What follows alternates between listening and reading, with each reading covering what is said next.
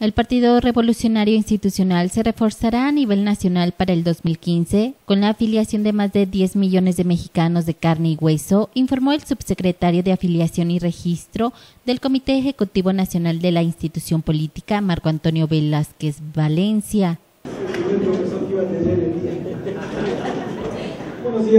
Los priistas y que en momentos difíciles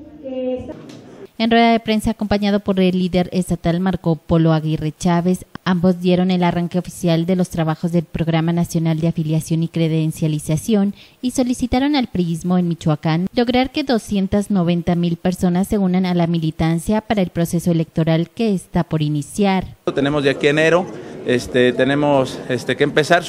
no nos marca este, fechas, eh, la meta general para Michoacán son 296 mil pero en el caso de, esta fecha a enero estamos pensando más o menos tener alrededor de 100 mil que este, convencerlos de que se afilian a nuestro partido. Hay una percepción que no la podemos negar, pero también yo les quiero decir que en este caso quien ha puesto las soluciones es un gobierno del PRI. Durante este evento los dirigentes priistas se comprometieron a mejorar la membresía de este partido político en el estado, mismo que en todo México cuenta con alrededor de 6 millones de personas. Con información de Felipe Bárcenas, informa Cuasar TV.